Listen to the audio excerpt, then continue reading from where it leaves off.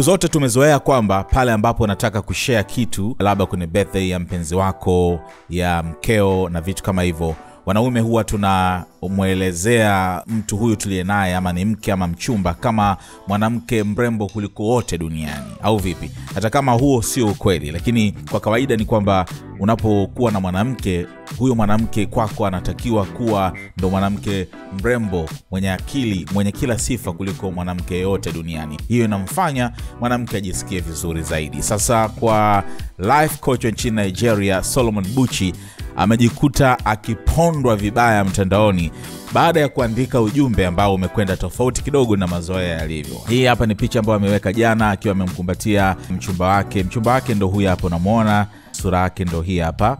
Halafu katika caption akawa ameandika wewe sio mwanamke mrembo sana ama kuliko wote. Na sio kwamba wewe ndio mwanamke mwenye akili zaidi. Lakini sijakuchagua kutafuta ukamilifu kwa mtu yoyote. Na hapa china akaendelea kusema kwamba kusema kwamba wewe sio mwanamke mrembo au mwanamke mwenye akili inaweza kuonekana kama sio sifa hivi ya?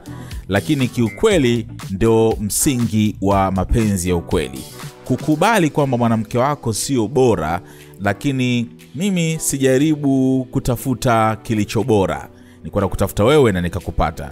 Hakuna bora ila kuna mtu ambaye nimeamua kumchagua ili nione ubora katika wao. Hiyo kwangu ndio real love. Hayo ndio mapenzi ya kweli kwangu. Na hapa akasema sio yale ambayo ya kujipa moyo ama ya kujiliwaza kwa ukweli wa kudanganya kwamba partner wako ni mtu ambaye ana mwonekano mzuri zaidi mwenye akili mwenye mafanikio zaidi duniani kuliko wote. Akaendelea kusema kwamba penzi langu kwako sio kuhusu kuwa bora ni kuhusu kuwa wewe. Na kwamba hakuna mwingine kama wewe. Hapo mwishoni akasema anampenda huyu mpenzi wake na kwamba yuko committed kwake. I miss you so much nadhani wanaishi umbali kidogo. Unaona? Sasa hii hapa kiukweli imechukuliwa tofauti sana. Imetua mpaka kwenye peji kubwa sana ya instagram ya the shedroom ambayo hapa anapondwa kwelikweli huyu solomon kwamba kulikuwa kuna ulazima gani wa kuweka ufundi wa maneno hayo ili kumdhalilisha mpenzi wako au sio? Moja ya maoni huyu anasema this is rude humiliating and completely unnecessary to publicly state you don't sound deep or intellectual. You sound like a man who should be alone.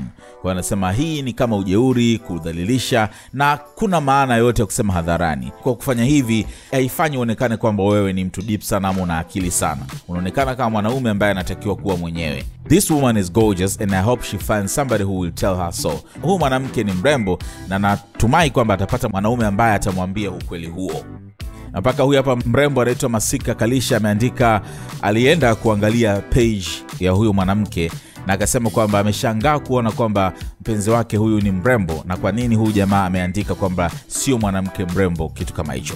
Kwa wengi wamemponda huyu jamaa kwa nini andika hivi ni kama vile amemdhalilisha na kiukweli ukiangalia hii hapa ndo page ya mchumba wake. Ukiangalia huyu ni mwanamke tu mrembo au sio kwa hiyo alipaswa kupewa sifa yake. Kwa nini huyu jamaa akaamua kumwelezea hivi kwamba sio mwanamke mzuri kuliko nini? Naona watu wengi wamejaa hapa wanamwita kwamba ni mrembo sana. Na kwa nini jamaa ameshindwa tu kuappreciate kitu rahisi kama hicho?